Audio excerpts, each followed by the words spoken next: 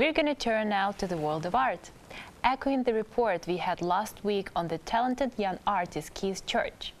Keith Church was a student at Goldsmiths in 1975, and now he's finally given his first exhibition 35 years after his murder. Our reporter Melissa Fernando takes us closer into the artist's work.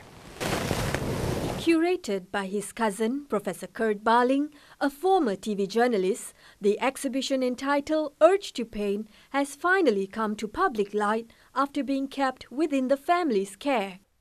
Keith was murdered aged 27. The murderer was never found. It's an unsolved crime. There are very few unsolved murders in Britain. This is one of them. And the family have never really been able to get full closure because of that. And they've kept the paintings almost as a way of keeping hold of Keith. When Keith Church started painting his emotions and creativity on canvas, he certainly was clueless that his paintings will get to be exhibited 35 years after he was stabbed to death in Broxburn, a case that is still unsolved in Britain. There's that instinct to keep it private, but also that instinct to share it, overlaid with the fear of opening up the wound of his murder because it's unresolved. And so it's been very difficult all the way through, even the day before the exhibition began. From the first drop of paint on the canvas to the art exhibition, it involves a lot of mixed emotions, skills, drives, and behaviors, each piece with a story of its own. To help people think about the glory of his work.